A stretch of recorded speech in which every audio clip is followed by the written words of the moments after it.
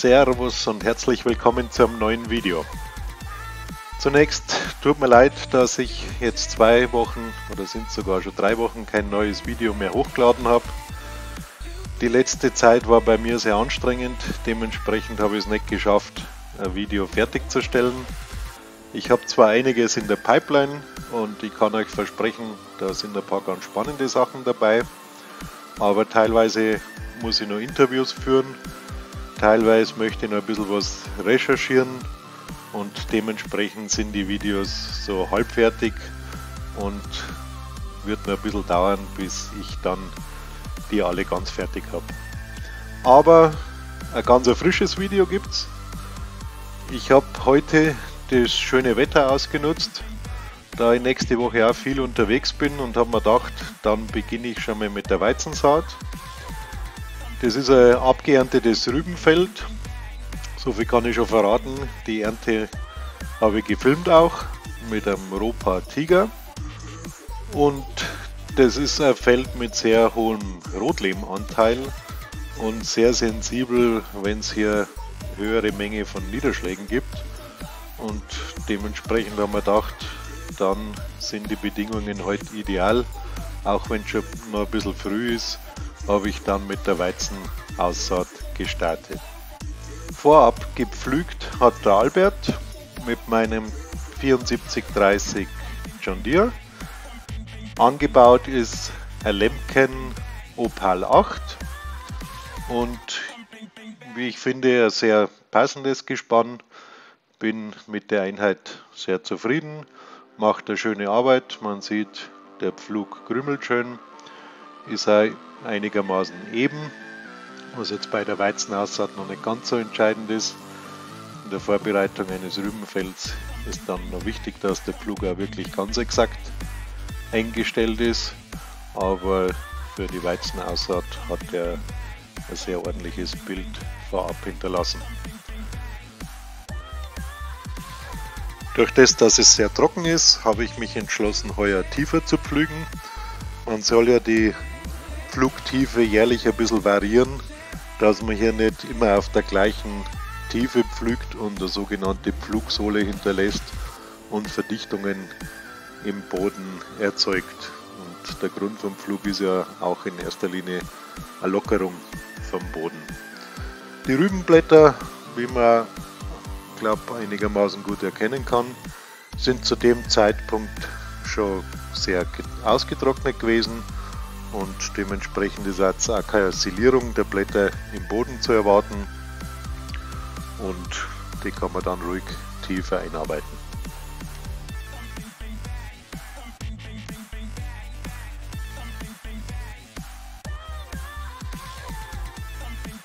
Die Fahrgeschwindigkeit betrug je nach Bedingungen, da es ja Wechsel in der Boden ist, zwischen Weißlehm und Rotlehm zwischen 8 und 9 km/h. Eine schnellere Fahrt ist dann sehr verschleißträchtig für den Flug und wäre jetzt auch von der Kraft für den Johnny sehr grenzwertig geworden. Am Morgen hatte ich noch einen interessanten Zwischenfall. Der Johnny ist in der Früh mit einem Blattfuß in der Halle gestanden. Interessanterweise haben sie Steine zwischen dem Mantel und der Felge eingeklemmt gehabt und so hat Luft entweichen können. Nachdem ich die aber dann beseitigt habe, hat den ganzen Tag über die Luft gehalten und dementsprechend scheint der Defekt repariert zu sein. Ja, was an dem Video neu ist, ich bin selber Schlepper gefahren und war selber der Pilot der Drohne. Insofern entschuldigt, wenn es manchmal ein bisschen hektisch ist, die Bewegung mit der Drohne. Aber der Schlepper muss auch überwacht werden und bedient werden. Und dementsprechend war das eine ganz neue Erfahrung, wenn man zwei Geräte gleichzeitig bedient. Aber dank meinem Topcorn-Lenksystem hat das eigentlich erstaunlich gut funktioniert.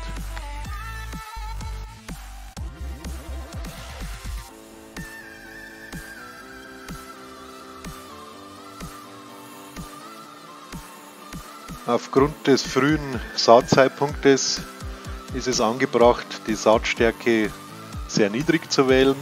Ich habe wieder ein Axioma angesät, wie auch letztes Jahr. Eine E-Weizensorte, da wird empfohlen, bis zum 10. Oktober ca. 300 Körner pro Quadratmeter zu säen. Ich habe ein bisschen mehr gesät, da die Keimfähigkeit aufgrund des Hagels ein bisschen eingeschränkt war. Ich habe eine Keimprobe gemacht. Da haben zwar die meisten Körner gekeimt, aber ich habe gehört, dass der Hagel schon Auswirkungen auch auf die Keimfähigkeit hat und dementsprechend wollte er auf Nummer sicher gehen und bin irgendwo bei 330, 340 Körnern pro Quadratmeter. Ja, wie kann man die Saatstärke feststellen? Das ist relativ einfach. Man misst das sogenannte 1000 Korngewicht. Wie der Name sagt, was wiegen 1000 Körner? Ich habe dafür eine Schablone, mit der kann ich in den Weizen fassen und dann füllt sich die Schablone automatisch mit 100 Körnern. Das Ganze mache ich fünfmal. Dann habe ich quasi das Gewicht von 500 Körner, nehme das mal 2, dann habe ich das 1000 Korngewicht und das ist heuer auffällig nieder auch. Äh, das Z-Saatgut, also das gekaufte Saatgut, das ich für nächstes Jahr sehe, hat 1000 äh, Korngewicht von 40 Gramm. Meiner hat auch nur unwesentlich mehr gehabt, von 43 bis 44 Gramm. In guten Jahren haben 1000 Körner bei mir auch mal 48 und 49 Gramm gewogen. Aber das ist einfach eine weitere, weitere Folge vom Hagel gewesen.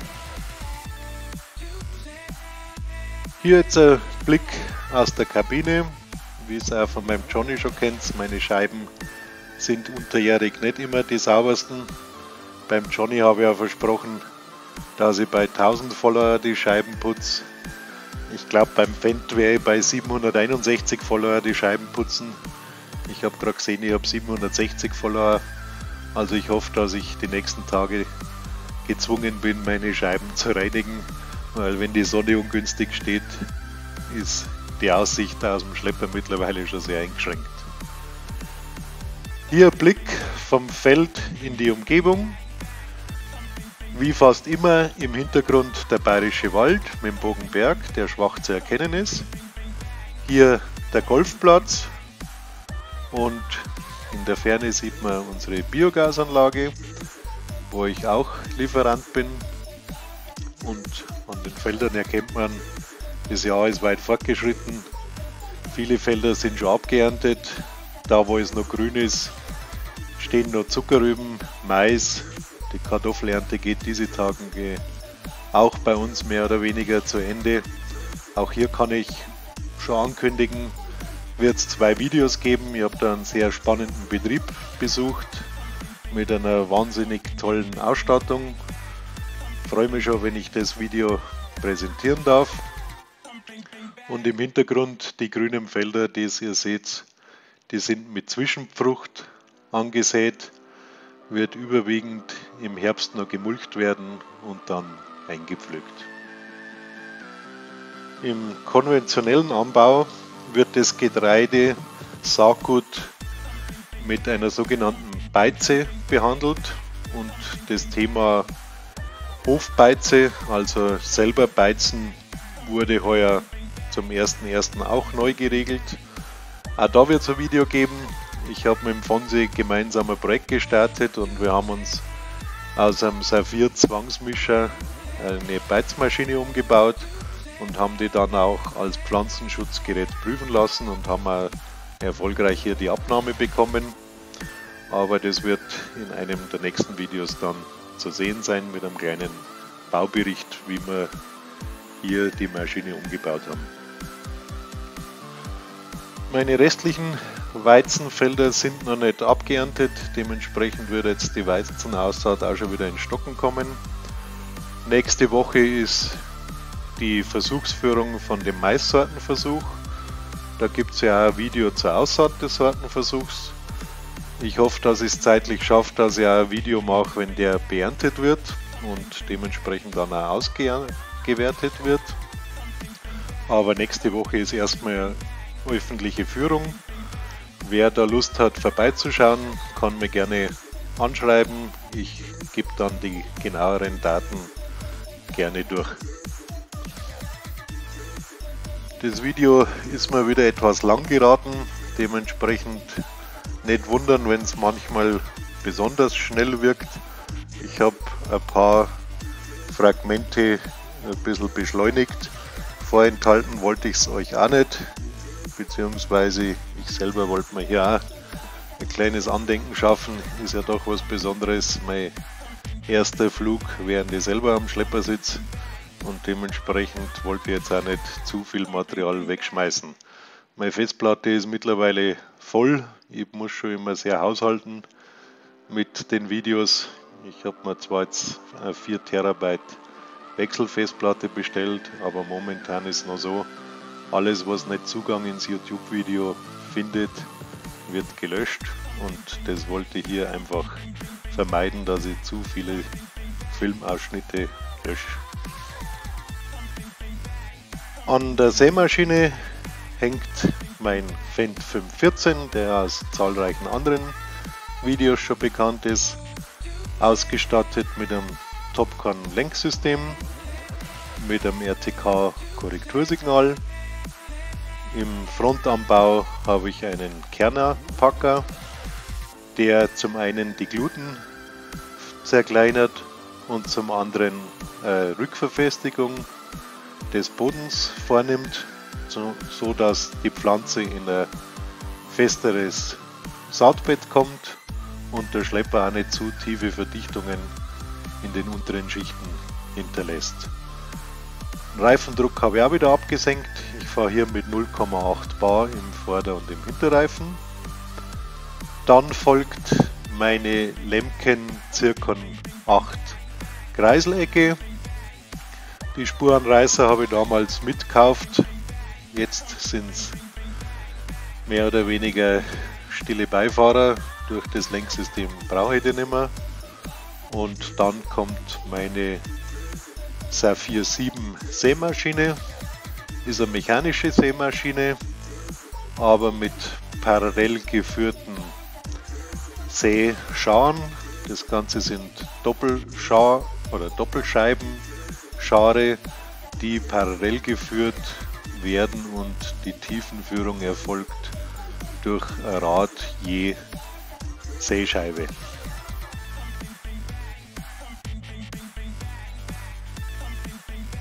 Der Weizen ist bei der Aussaat relativ gutmütig, was Tiefe betrifft und was die Bodenstruktur betrifft.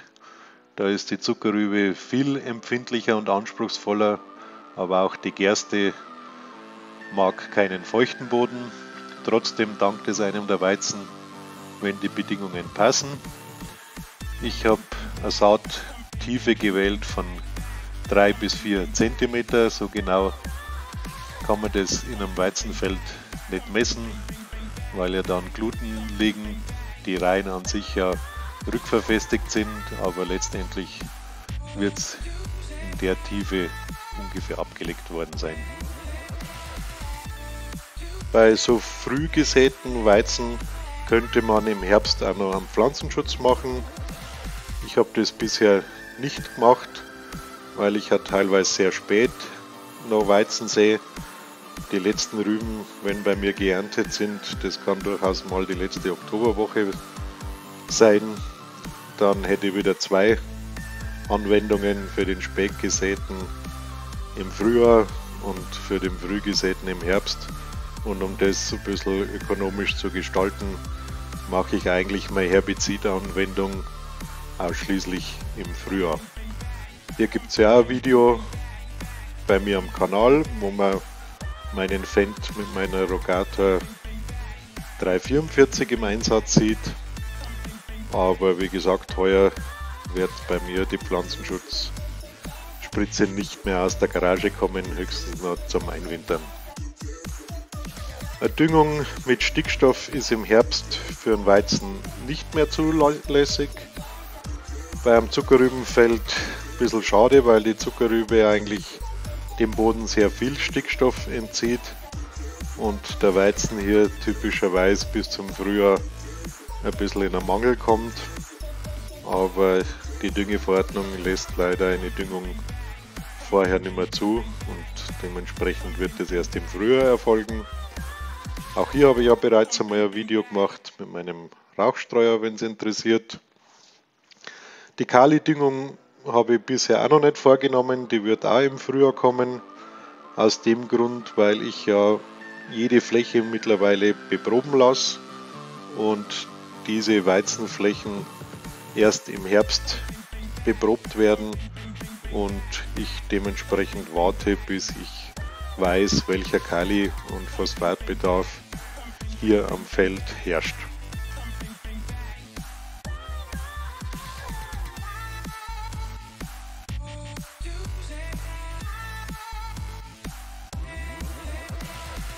Ich habe ja einige Abonnenten bei mir, die über den Holzbub 66 auf meinen Kanal aufmerksam geworden sind die mich immer fragen, weil sie ja selbst LS 19 spielen, welche Fahrgeschwindigkeit in der Realität hier angewandt wird.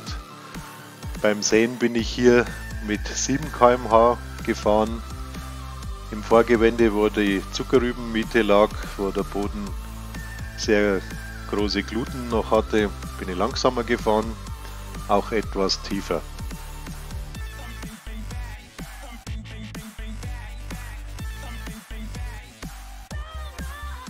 Zapfwellengeschwindigkeit ist bei einer Kreislecke typischerweise 1000 Umdrehungen pro Minute. Das hat den einfachen Grund, dass bei der 1000er Zapfwelle das Drehmoment vom Schlepper ziemlich optimal übertragen wird. Meine Kreislecke hat noch ein Getriebe. Ich kann die Geschwindigkeit der Kreiseln herabsetzen, trotz der 1000 Umdrehungen an der Zapfwelle. Und ich kann die Drehrichtung der Kreiseln ändern. So wie es jetzt eingestellt ist, arbeitet die Sämaschine, ach, die Kreiselecke auf Schlepp. Ich könnte durch Umkehrung der Drehrichtung auch auf Griff arbeiten. Das war früher relevant, als ich noch Kartoffelfelder als Saatbett oder Vorfrucht hat, weil die Kartoffeln nicht so tief eingearbeitet werden sollen, die liegen geblieben sind, dass die im Winter erfrieren. Jetzt nehme ich die Kreislecke eigentlich überwiegend nur noch im Schlepp vor.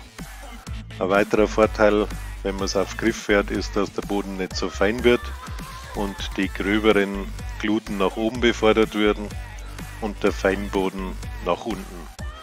Aber hier ist eigentlich ausreichend rau geblieben und dementsprechend habe ich es auch auf Schlepp gelassen.